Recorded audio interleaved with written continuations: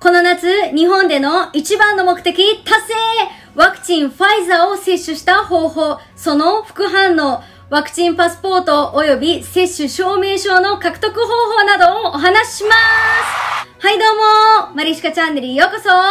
ロシア・モスクワに11年住んでいてバレエをしている私が作るこのチャンネル。ロシアとバレエに興味のある人はぜひチャンネル登録しておいてください。ワクチン接種2回目が無事終了しました今私は日本に一時帰国しているのですが、今回の帰国の一番の目的はワクチン接種でした。私の住むロシアではワクチン接種をしていないと住みにくいように感じることがあるので、今回ワクチン接種をしようと思ったのですが、やはりロシアではスプートニック V をはじめ、ロシア製のワクチンが一番認められています。ただ、この9月から私が通おうと考えている大学院や仕事先では、どこのメーカーのワクチンでもいいので、とりあえず接種して、接種証明書があるということが大切と言われたので、私は副反応のことなども考え、家族のいる日本で打とうと思いました。このことをライブとかではお話ししていたのですが、そこでいくつかの誤解があり、叩かれてしまったので、この場を借りてお話しします。まず日本人でもワクチン予約ができていない人がいる中、なぜ海外在住者の私が日本に帰国してすぐに打てたのか、やはり父が医者だから医療関係者の枠で打ったのではないかと、この2点を特に疑問に思ってコメント欄などで書いてきた人が多かったです。まず私はこの春、ロシアで永住権を取ったとはいえ、日本では二重国籍が禁止なので、帰化はせず、日本国籍のままですし、ロシアでも税金を払ってるとはいえ、国籍、戸籍、住民票は日本のままですし、日本でもバリバリ税金を払っています。なので、住民票のある市から10桁の予約番号が届いた時に、私はまだロシアにいたので、母が母の分と私の分と何回も電話して予約してくれました。確かに父は医者として医療従事者枠で先に接種していましたが、私と母は一般枠で接種しました。今私が住んでいる大阪市はかなり大きな市なので、皆様もご存知のように、それでも特に若い人には予約の順番が十分に回ってきていないでしょうと思われるかもしれませんが、実は私は宝塚市にも家があり、住民票は宝塚市なので、宝塚市から送られてきた番号で予約をしました。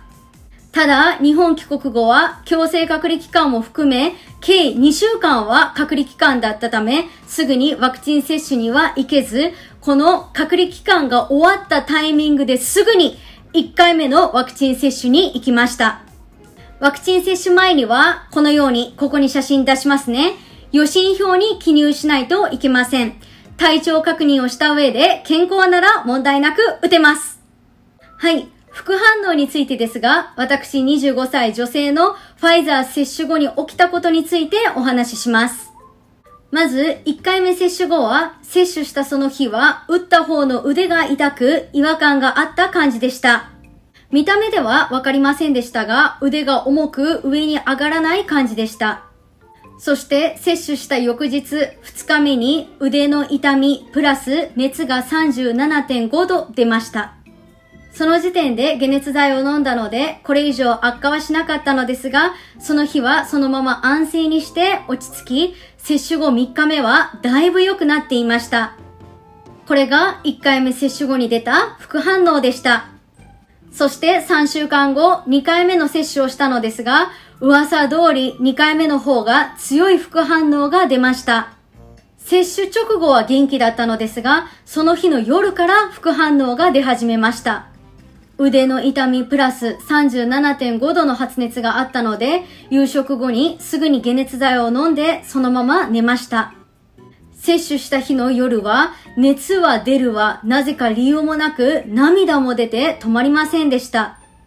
夜は母がつきっきりで看病してくれて、1回目も2回目も私は利き手でない左側に打ったのですが、左腕が痛かったので、それをかばうように右側を下にして寝たので、右手が痺れてしまい、手が固まって動かなくなってしまい、母に助けてもらったり、氷枕やポカリスエットなどで看病してもらって、副反応が出る時に支えてくれる家族がいることに感謝の気持ちでいっぱいでした。だから涙が止まらなかったのかな？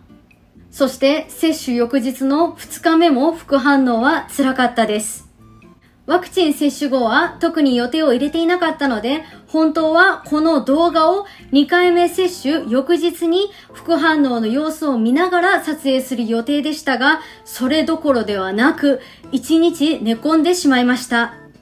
接種翌日、すなわち昨日は腕の痛みの方は解熱剤のおかげで少し和らいでいたのですが、熱が薬を飲んでいたにもかかわらず38度近くから下がらず寒かったので長袖パーカーを着て布団をかぶって寝込んでいました。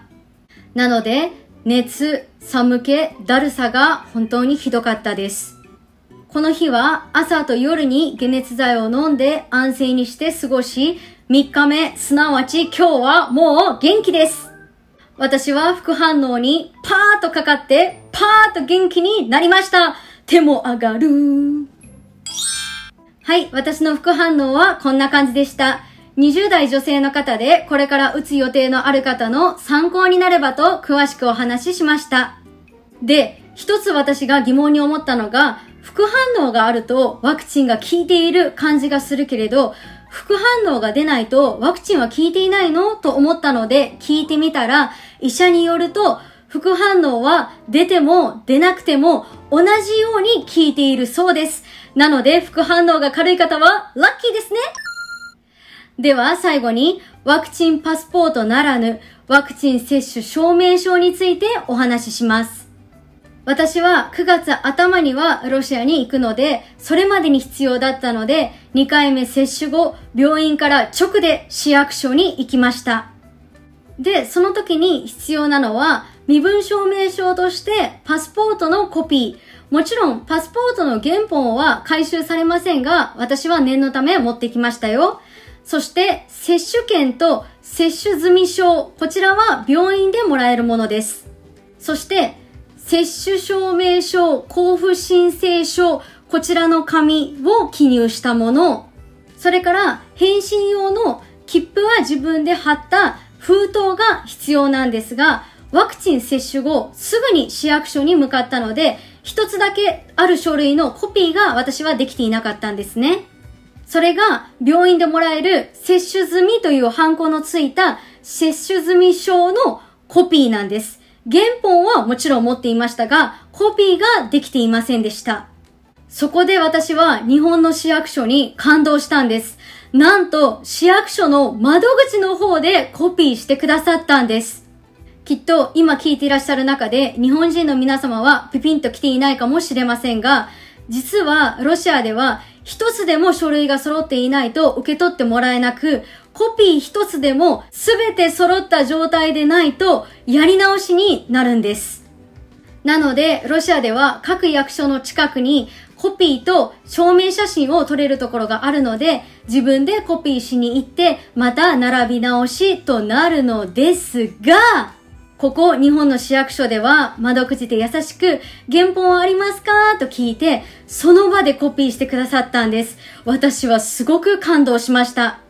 それからワクチンパスポート発行にどれぐらい時間がかかるのか気になったので、接種当日の朝市役所に電話して確認したら、2週間前後ですと言われて、それじゃ遅い。2週間前ならまだいいけど、5なら確実に間に合わないと思ったのですが、市役所に着いてからその場で9月の頭にはロシアに行くことや、その時に必要なことなどを話すと、留学生も多いのでわかります。帰国後は隔離などもあってすぐに接種できませんよね、などしっかりと分かっていただき、月曜日に接種して、その月曜日には手続きをして、そしてその金曜日にはもう着くように手配してくださるということで、速達封筒をつけて受け取ってくださり、手続きが完了しました。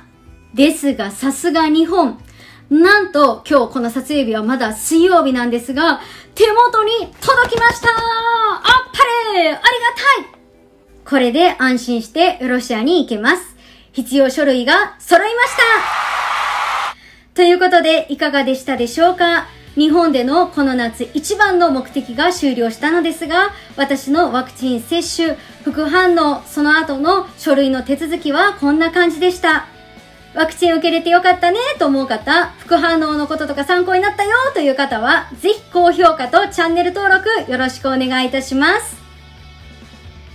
最後までご視聴いただきありがとうございました。ではまた次の動画でお会いしましょうバイバーイチャンネル登録よろしくね。